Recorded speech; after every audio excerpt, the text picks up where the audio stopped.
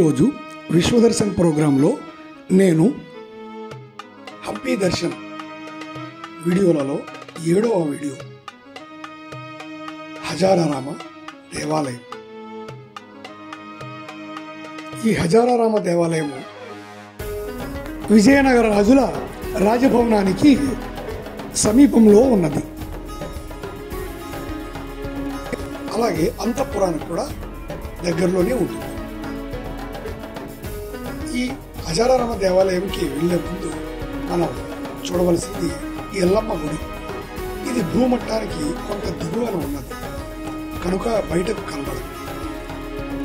ఇక్కడ ఇప్పుడు కూడా పూజలు జరుగుతున్నాయి. దీని పక్కనే ఒక పెద్ద పాడుబడిన బావి ఉన్నది. డొమింగో పీస్ పోర్చుగీస్ ట్రావెలర్ పదిహేను వందల ఇరవై సంవత్సరంలో శ్రీకృష్ణదేవరాయలు చక్రవర్తిగా ఉన్న కాలంలో ఈ విజయనగర సామ్రాజ్యాన్ని విజిట్ చేయడం జరిగింది. ఆయన అప్పుడు ఆయన చూసిన విషయాలన్నీ కూడా ఆయన యొక్క travel book chronicle of the Vijayanagar kings అనే ఒక పుస్తకంలో పొందుపరిచాడు. ఆయన మాటల్లో ఈ గుడి గురించి తెలుసుకుందాం. ఈ విజయనగరంలో ఈ ఒక్క గుడి ముందు మాత్రమే జంతు బలులు జరుగుతాయి. మరే ఆలయంలోనూ జంతువులను వధించరు. వీటి రక్తంతో గుడిలోని దేవునికి అభిషేకం చేస్తారు జంతువుల తలను పూజారికే వదిలేస్తారు అలాగే ఒక్కో తలకు ఒక నాణ్యం కూడా ఇస్తారు బలి ఇచ్చిన తరువాత పూజారి తన బోరను ఊదుతాడు. దేవుడు ఈ బలిని స్వీకరించాడని దీని అర్థం. ఇక్కడ నుండి మనం వెనుకకు మరలిన మనకి దారిలో శివాలయాల సమూహం కనిపిస్తుంది. ఎల్లమ్మ గుడి నుండి దూరంగా కనబడే హజారారామ దేవాలయం వరకు మధ్యలో లెక్కకు మించిన ఆలయాల శిథిలాలు కనిపిస్తాయి. ఇవన్నీ శివాలయాలే. అక్కడక్కడ పడి ఉన్న నంది శిలలు శివలింగాలు ఇందుకు తార్కాడు అక్కడక్కడ కొంత మిగిలి ఉన్న ఆలయ మంటపాలు ద్వారాలు స్తూపాలు ఆలయ పునాది మట్టాలు. వీటిని గమనిస్తే అప్పట్లో ఈ శిథిల ప్రాంతం అత్యంత సుందరంగా ఆలయాలతో అలరారేదని అర్థమవుతుంది. ఈ శిథిలాల చివరన అనగా హజారరామ దేవాలయానికి ఎదురుగా ఒక పెద్ద శిలాస్తంభం ఉన్నది. పక్కనే ఆలయ పునాది ఒక కోనేరు కూడా ఉన్నాయి. ఆ స్తంభం ధ్వజస్తంభం కాదు. అది ఒక అలంకార స్తంభం బహుశా దీపస్తంభం కావచ్చు.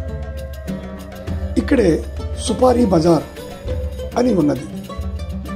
ఆ రోజుల్లో అక్కడ పాన్ సుపారీ విక్రయించడు వారట. మహారాజు దర్శనార్థం వచ్చిన అతిథులకు అక్కడ చేరి సుపారీని సేవించేవారట. ఇక మనం మెయిన్ దేవాలయం హజార రామాలయం ఇక్కడికి మనం ప్రవేశిద్దాం. ఇది అంతఃపుర భవన సముదాయం మధ్యలో ఉన్న ఒకే ఒక్క ఆలయం. ఇది చాలా పెద్దదే. కాక చాలా అందమైనది కూడా.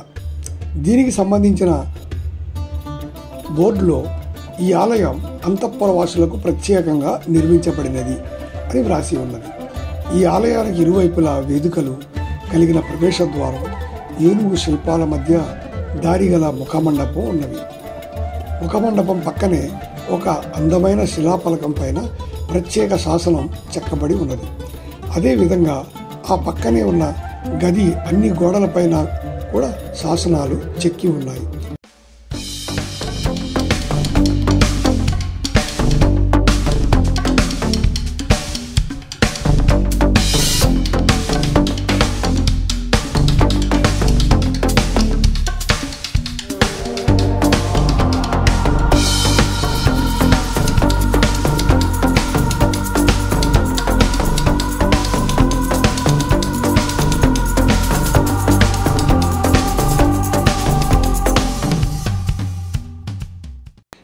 గుడిలో విగ్రహం లేదు.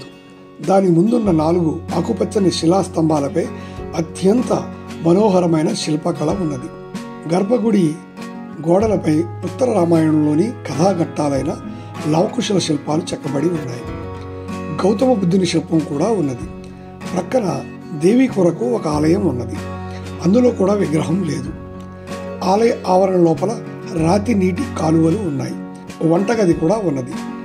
ఆలయానికి ప్రధాన ద్వారమే కాక కుడి ఎడమలకు కూడా గోపురం మండపం కలిగిన చిన్న ద్వారాలు ఉన్నాయి. ఆవరణ లోపల ఉప ఆలయాలు చాలా ఉన్నాయి. దీనిలోనూ విగ్రహాలు లేవు. ఈ ప్రాంతంలోని ఏ ఆలయానికి లేని విధంగా ప్రత్యేకంగా ప్రహారీ గోడపై కూడా యుద్ధానికి వెళుతున్న ఏనుగులు ఒంటెలు గుర్రాలు సైనికుల శిల్పాలు చెక్కి ఉన్నాయి. ఈ ఆలయానికి ఉత్తరం వైపున ఉన్న ఉపద్వారం కొంత ప్రత్యేకతను సంతరించుకొని అందంగా ఉన్నది. ఇది రాణివాస స్త్రీలకు ప్రత్యేకమైన ప్రవేశ ద్వారం. ఎందుకంటే ఆ వైపునే కదా రాణివాస మందిరాలున్నాయి.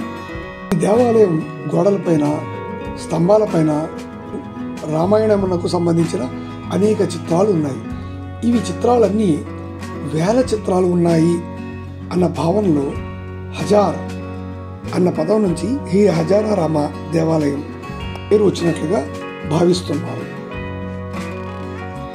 ఈ దేవాలయము శ్రీకృష్ణదేవరాయలు తన దిగ్విజయనకు చిహ్నంగా పదిహేను వందల పదమూడవ సంవత్సరంలో కట్టించారు.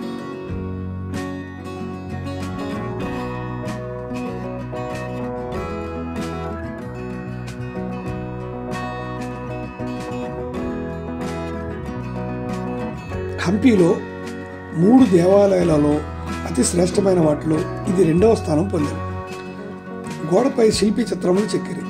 ఈ చిత్రములు వేలూరు హళేబీడు దేవాలయంలోని రాళ్ళు ఉపయోగించినారంట్లో సందేహం లేదు. గోడ మీద చిత్రములు వరుసగా చిత్రించినారు. ఒక వరుసలో అనేక యోగ భంగిమలు అనేక హిందూ మత దేవతల విగ్రహములు కలవు. కొన్ని ముఖ్యమైన చోట్ల దశావతార విగ్రహములు వైష్ణవ మత దేవతా విగ్రహములు చెక్కిరి.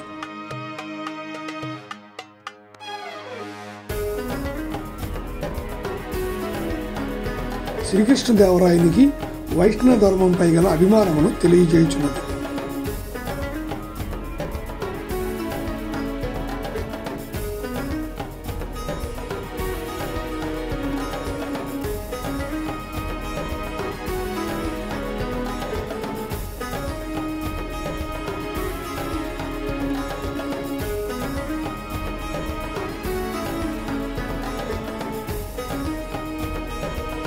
హనుమంతుడు జాంబవతి వేణుగోపాల స్వామి చేతిలో హారంతో ఉన్న హనుమంతుడు సముద్ర అలలను పరీక్షించుచున్న రాముని బొమ్మలు ఇంకా రామాయణంలోని అనేక సంఘటనలు కలిగి ఎంతో రమ్యంగా తీర్చిదిద్దారు.